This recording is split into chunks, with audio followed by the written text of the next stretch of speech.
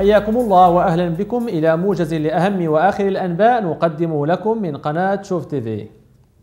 في رده على تصريحات رئيس الحكومة عبد الإله بن كيران أمام مجلس النواب خلال جلسة المساءلة الشهرية المتعلقة باتهام قيادات حزبية بتهريب الملايير نحو حسابات بنكية في الخارج.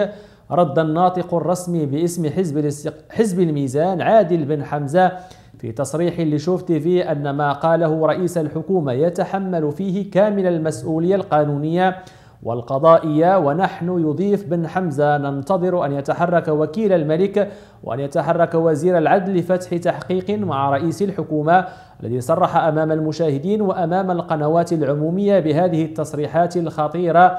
التي تضعه تحت طائلة القانون لأن معرفة مثل هذه المعطيات والتستر عليها يعد جريمة ونحن ننتظر يضيف عادل بن حمزة إحالة هذا الملف على القضاء وننتظر أن تتحرك النيابة العامة لكي تفتح تحقيقا مع رئيس الحكومة. أعلن وزير التشغيل والشؤون الاجتماعية عبد السلام الصديقي أنه سيتم الشروع في دفع التعويضات عن فقدان الشغل انطلاقا من مارس 2014 وقال الصديقي في حديث لجريدة ليكونوميست يتعين الشروع في صرف التعويضات عن فقدان الشغل انطلاقا من مارس 2014 على أبعد تقدير مضيفا أن مشروع القانون حول التعويض عن فقدان الشغل سيحال على الأمانة العامة للحكومة في غضون الأيام المقبلة.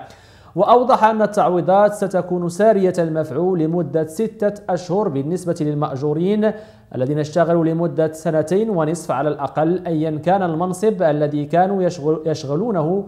مشيرا إلى أن المبلغ المدفوع لن يتجاوز الحد الأدنى للأجور أي 70% من الأجر المحصل عليه.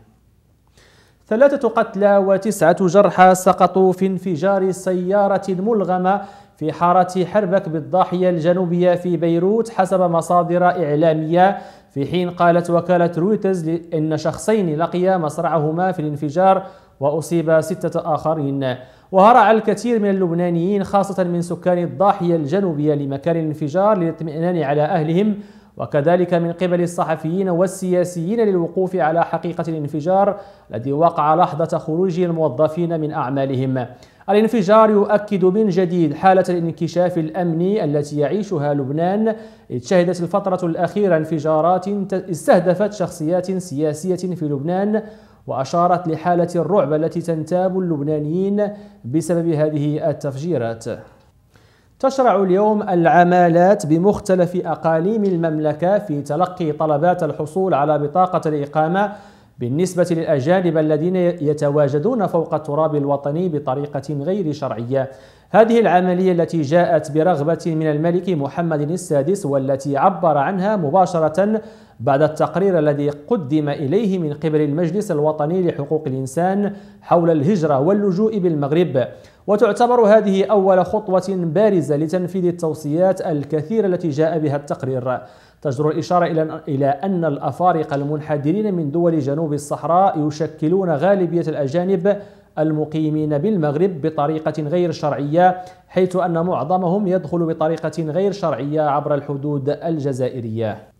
بعد النجاح الكبير الذي حققه المغرب في تنظيمه للدورة الأخيرة من من الموندياليتو بكل من مدينتي مراكش وأكادير أعلن الاتحاد الدولي لكرة القدم إضافة مدينة طنجة إلى المدن التي ستحتضن الدورة المقبلة من كأس العالم للأندية 2014 وأضافت الفيفا على موقع إلكتروني أن مدينة طنجة ستحتضن بعض مباريات موندياليتو بحكم قربها الجغرافي من أوروبا مما سيساهم في جلب الجمهور الأوروبي لمتابعة المباريات.